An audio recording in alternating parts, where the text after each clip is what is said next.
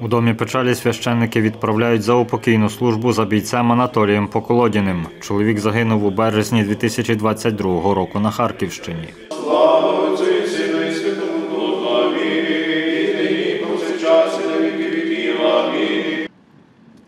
Далі траурний кортеж прямує на Микулинецьке кладовище.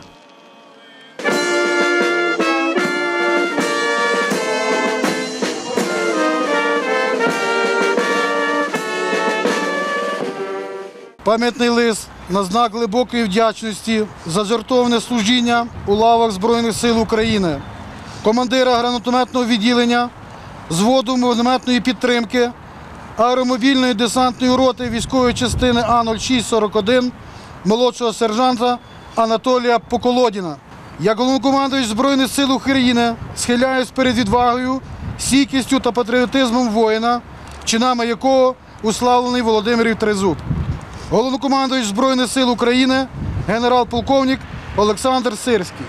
Поховали Анатолія Поколодіна на алеї героїв. Дружина бійця Марина Мехрабова розповіла, її чоловік брав участь у бойових діях з 2016 року. Коли почалася повномасштабна війна, також пішов до війська. Загинув у березні 2022 року від кулі снайпера на Харківщині. Анатолію було 53 роки. У нього залишилися дружина і донька. Він спочатку був вважався як безвісно зниклий. Потім два роки пошуку, надії, віри, що він живий. Але дива не сталося. Він загинув. Його спочатку знайшли на Ізюмщині, там, де він загинув. Харківська область, Ізюмський район. Потім його поховали в Дніпрі. І тепер нарешті, коли ми змогли знайти його, ми поховали його вдома. Ми ж всі ДНК здавали. Ну, це така процедура.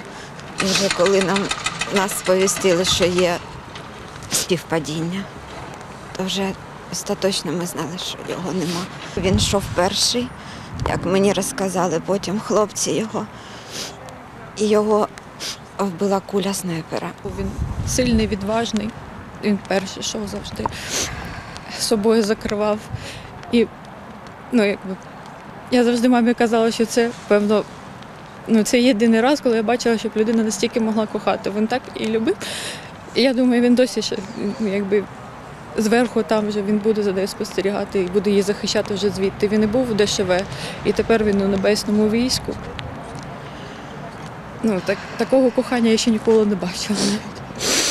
Я думаю, що це кохання, воно ну завдяки цьому ми змогли його знайти. Це віра постійно. Ну якби як що б нам не казали, да то казали, що він зник, що він загинув. І так щодня, знаєте, ну якби щодня ми його ховали, щодня воскресали. Це було страшно. Ну страшні муки. Ці два роки було. Це Так. третє поховання. Я розумію, що це страшно, тому що постійно його ми, ну як тривога постійна йде. Але я не могла залишити його десь. Мені потрібно було його сюди забрати. Тарас Бурак, Андрій Прокопів, Суспільне новини. Тернопіль.